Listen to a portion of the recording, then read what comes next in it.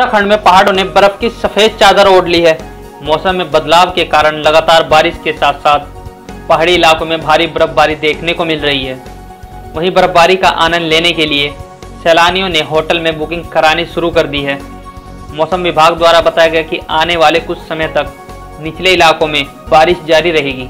वहीं बर्फबारी के कारण निचले इलाकों में भी ठंड बढ़ने लगी है। चक्रोता अगर बात करें देहरादून डिस्ट्रिक्ट की तो यहाँ जो बेगन एरियाज़ है या उससे जो हाइट वाले जो आसपास में जो एरियाज़ है, जिनकी हाइट की करीब जो है ढाई हज़ार से ऊपर है तो इन एरियाज़ में आप कह सकते हैं कि हल्की बर्फबारी जो आपको देखने को मिल जाएगी।